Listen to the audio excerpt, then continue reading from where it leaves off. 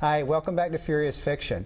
I'm Mark Mustian with Diane Roberts. Hello. Uh, we're so pleased to have Kim Edwards with us this afternoon. The very famous Uh, Kim That's Edwards. right. Kim is the author of The Memories Keeper's, Memory Keeper's Daughter and uh, The Lake of Dreams. And Kim, welcome. Thanks. I'm glad to be here. C- coming to us from Kentucky, right? Uh, That's right. Okay, the, the Bluegrass State. Bluegrass Uh, State, yay. And, and I, I wanted to, I have a confession to make to you, Kim. I, I'm one of the six people in America that has not read The Memory Keeper's Daughter. uh, but, but I have read Lake of Dreams and I, and I enjoyed it. And I wanted to, I mean, your books have been published like in, I think, Memory Keeper's Daughter in 32 languages. Uh, it- tell us just, I'm just kind of curious, is there a, a, a specific reaction you get to that book and to the other book? Just are things, is there some commonality people say, hey, uh, this does this for me, or what do you think?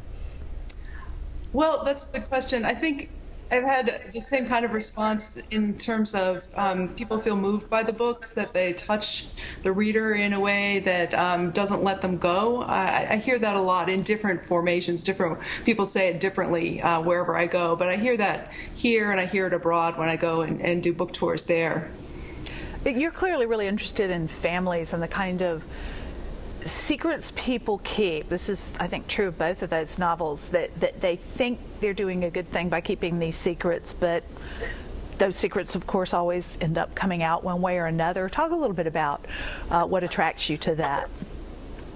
Well, I think it's really a wonderful narrative uh, engine, I guess, or it, it really can uh, spur a narrative to have a secret. And of course, with The Memory Keeper's Daughter, I was very deliberately working with a secret, and the secret is known to the reader right away um, in the very first chapter. But the reader knows more than the characters do. And I think a lot of the narrative tension of that book came from that, that distance that the reader had, or the reader's um, anticipation of what Yeah. the characters would Right. find out when.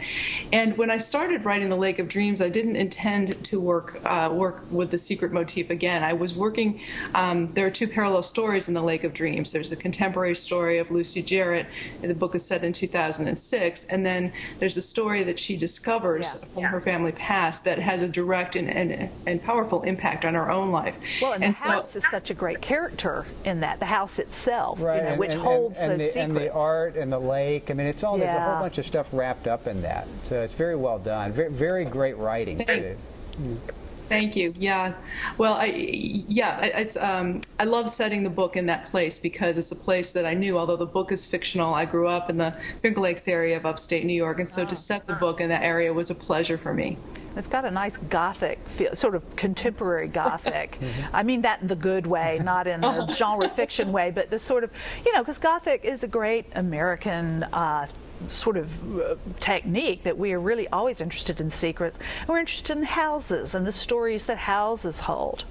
T- Yeah. Tell us what you're working on now, Kim. Uh, Do you have another novel? Or Are you working on something different? Uh, tell us what's coming next. Yeah, I am working on another uh, book. I, I've just started the next novel, and to my surprise, I've also got uh, interconnected series of short stories, sort of uh, starting to brim too. So I, I'm working on both of those things, just beginning. That's, that's good, Yeah, it's exciting. That's, that's great. indeed. What, what uh, um, uh, you know, when you travel around, you know, because you've been overseas with these books and that sort of thing, is there any particular story that jumps out at you of, you know, God, you wouldn't believe this happened in you know, Antwerp or whatever? uh, uh, I've had some really wonderful experiences um, going overseas, and it's the, the the wonderful thing I think is the sort of universality of readers. I mean, they're different, they're different countries, different cultures, but the passion for books and the passion for reading that I see uh, all around the world has been really, really remarkable and really wonderful. Well, thanks. It- It's almost time for us to go. Uh, uh, we're we're talking with Kim Edwards. Uh, she's the author of The Memory Keeper's Daughter and the uh, author of The Lake of Dreams. Kim, thanks so much for being with us. Uh, we'll see you next time on Furious Catch Fiction. you with the next book. Bye bye.